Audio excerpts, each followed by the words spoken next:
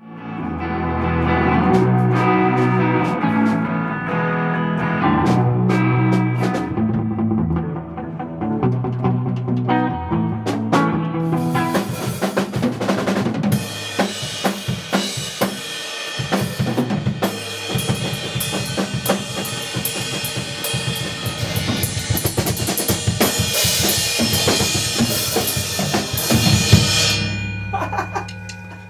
guys have seen Whiplash, right? All right.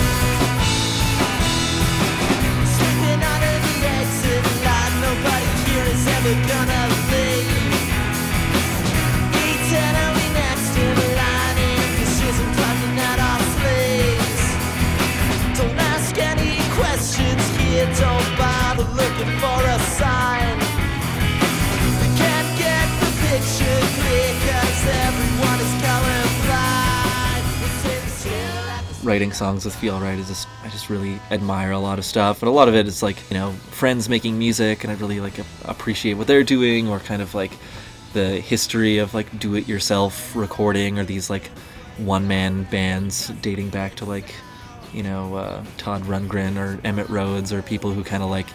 Um, and so that's sort of how like Feel Right started was just like kind of piecemealing together all these songs with whatever equipment I had, and we're recording an album now where it's the first time it's been like the full band uh, on the record, and kind of everyone is uh, represented.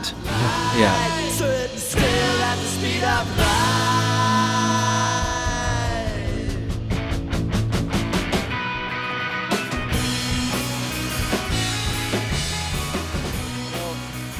Lot of it has to do with, um, I guess, homesickness. Like I, I moved to Pittsburgh in 2010, and uh, um,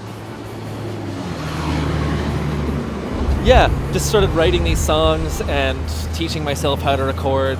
And uh, at first, I was quite bad at it, but I sort of just persisted. I think I was like really admiring a lot of things that were going on in Canada in music, like bands like Cousins who were putting out tapes and kind of uh, had this, you know, do-it-yourself attitude towards uh, recording and releasing music. So uh, just kind of bought a few microphones and taught myself how to record, and I kind of wrote all these songs in the midst of being uh, deeply homesick for uh, my friends that I would make music with back in Calgary. Yeah.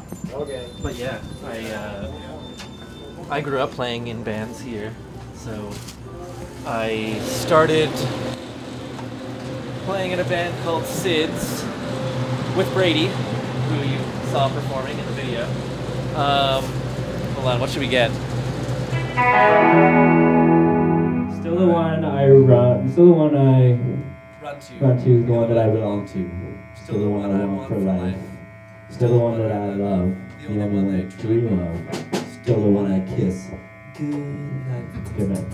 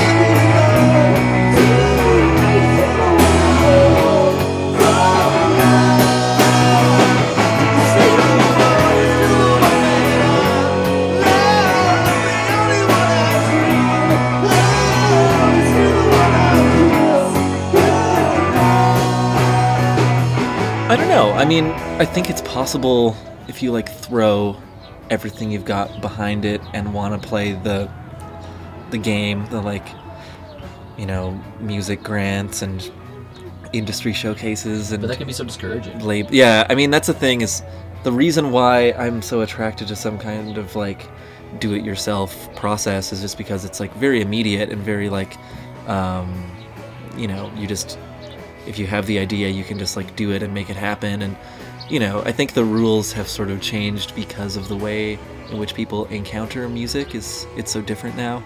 Like uh, you know you don't really have to rely on you know having that conventional idea of success to like connect with people Yeah. the way you might have had to you know some years ago.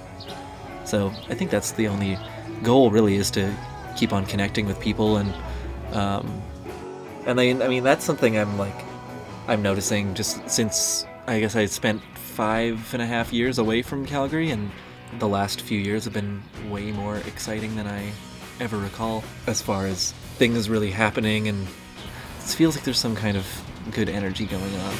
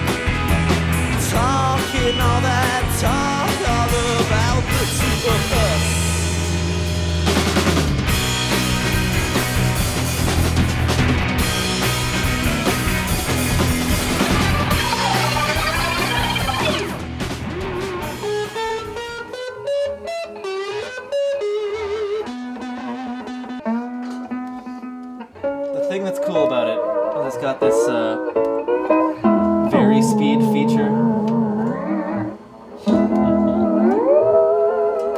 So you can change the speed of it live.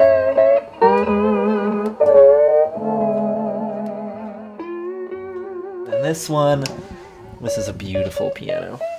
So I, I got this from a guy in Pittsburgh who he like worked at an old folks home or like a you know something like that and someone had just like left this piano there um, presumably after passing away but he just sort of took this piano home and he didn't know how to play and so it was a sort of a craigslist thing. Um, yeah you like deconstruct things and then you reprocess them and like I, I think that's like a really big part of making anything really. So you you have like a big crush on something and you have such a big crush on it that you want to be just like it Yeah. and then in the process of trying to be just like something you inevitably insert yourself into it in a way and uh, it's this new thing comes out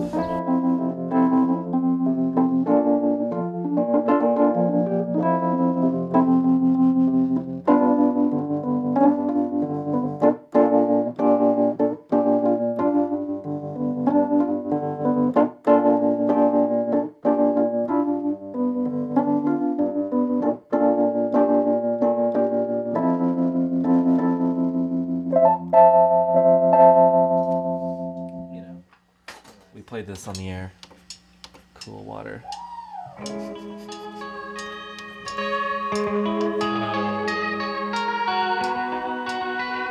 got this sort of twin peaks sounding bass line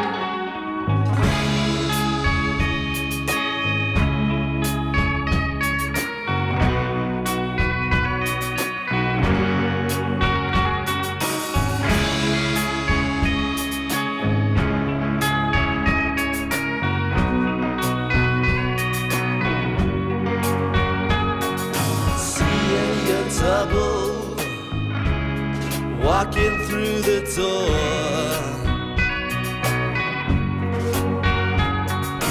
bursting your bubble at the top of the hour.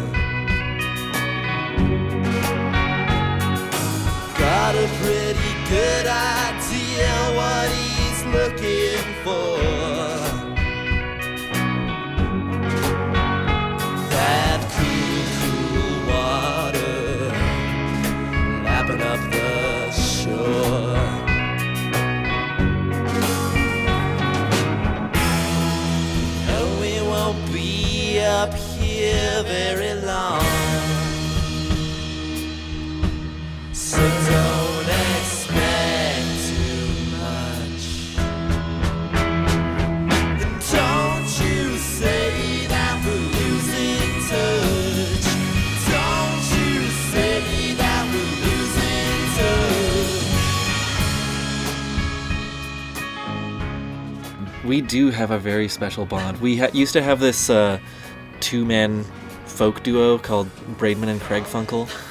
Uh, we just play the bar name Sue for uh, open mic and just play Simon and Garfunkel covers. But it actually was very. Uh, it was like an education in singing harmony. Like that's my favorite thing to do with Brady is sing some nice harmony with him.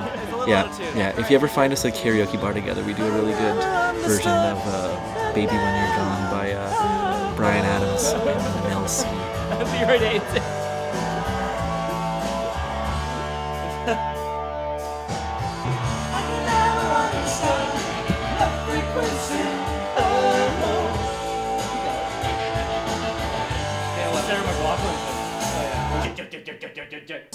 Suicide porn and the cross to faith that died before Jesus came. Building a mystery.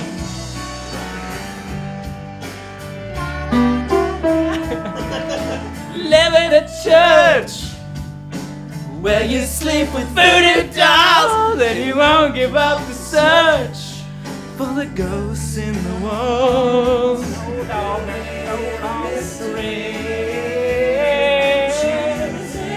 So carefully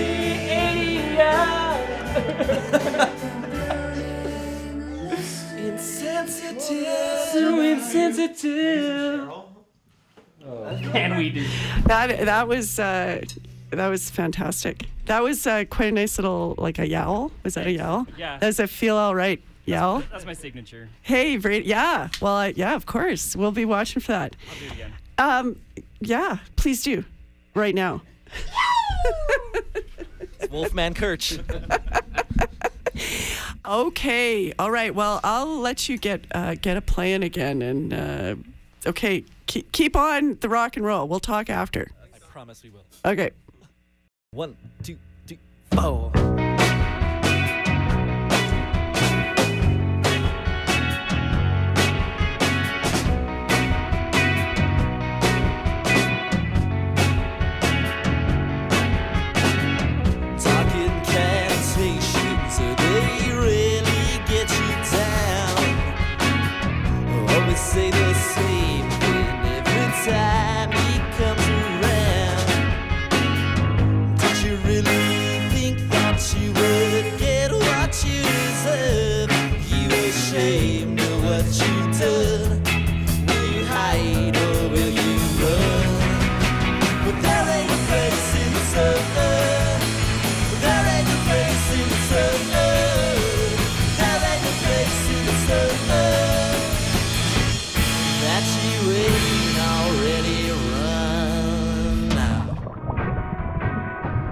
Yeah, it's it's sort of just been a matter of doing stuff because of some sort of like blind faith and weird motivation that I don't know where it necessarily comes from, but I don't really like the idea of playing the Canadian music industry game, but at the same time, we've made stuff or we've played shows, like good things seem to happen, and uh, I, I kind of just, you know, want to keep on doing what we're doing, and I'll, I'll follow the path, however that happens.